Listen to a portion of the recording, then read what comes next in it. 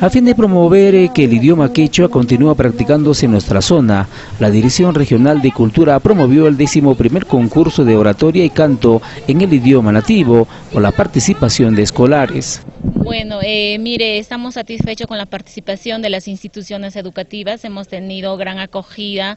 Eh, 13 instituciones este, que han venido participando en este décimo primer concurso de oratoria y canto en quechua. Hemos tenido siete instituciones o siete participantes en canto y seis en oratoria.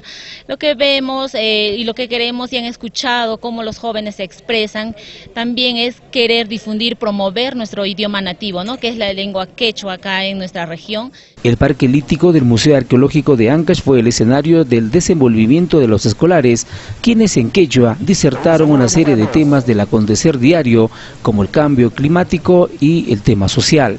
Así es, eh, como un joven lo mencionaba, este, yo creo que la mayoría de la población ancashina es quechua hablante, sino que de repente a veces algunas personas se avergüenzan de hablarlo o de decirlo, de pronunciar o hablar en quechua. ¿no? Nosotros sabemos que tenemos ya la ley que es la 27, la 29735 que, que promueve la difusión de la lengua materna, en donde el, la persona o la población quechua hablante que acude a una institución educativa tiene que pedir atención en quechua, ¿no? Entonces sí hay nuestra ley eh, que, nos, que nos defiende o para nosotros promover nuestro idioma nativo. Al término del evento, los escolares ganadores recibieron premios consistentes en libros, tablets y canastas navideñas.